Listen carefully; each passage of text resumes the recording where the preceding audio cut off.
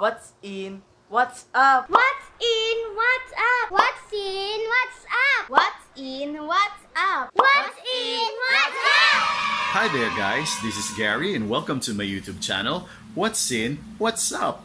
For today's video guys, I'm going to show you how I turned my bedroom into a YouTube studio slash office because it's gonna be um, working from home so we don't know until when is this pandemic will gonna end. I hope it's gonna be too soon.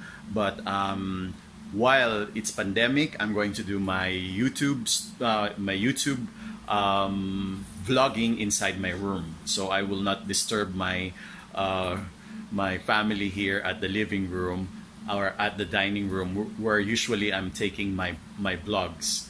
So let's start and I'm going to show you how it's made.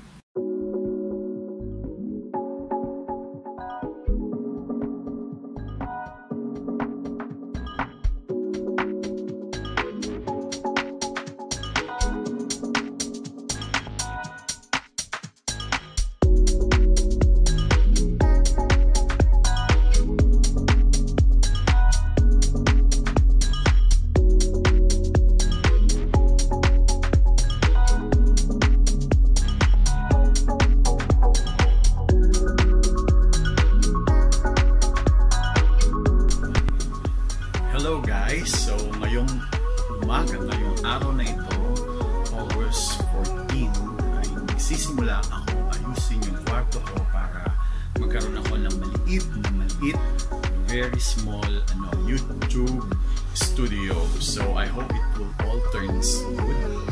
At uh, kanina, um, nalagari na yung kama ko na double bed, um, na, na queen size bed I made it into a single bed para um, magkaroon ako ng konting space extra dito sa loob ng kwarto ko. So, ayan. Tanggal na siya. Ayan na yung aking kamang luma. So, magpipintura ako. Tatanggalin ko yung mga cabinets ko. And then, ilipat-lipat ko kung saan siya babagay para magkaroon ako ng space na malaki dito sa bandang, dito sa corner nito. So, I will update you guys. Kaya uh, panoorin nyo yung buong video na to.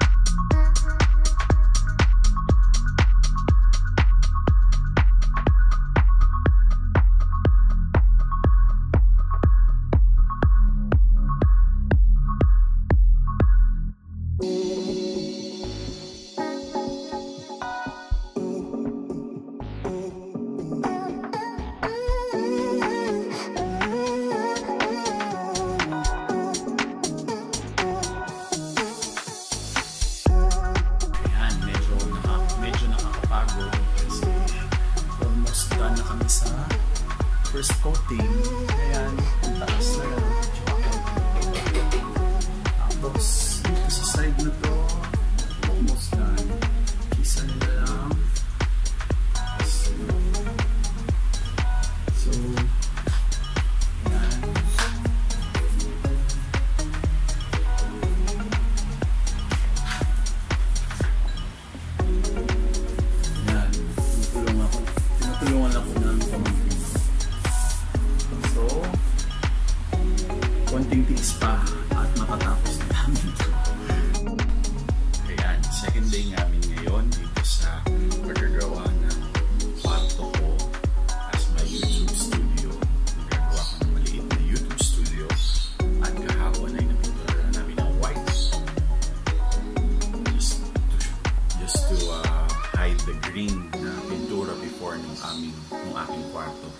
now, magsisimula na ako na teal.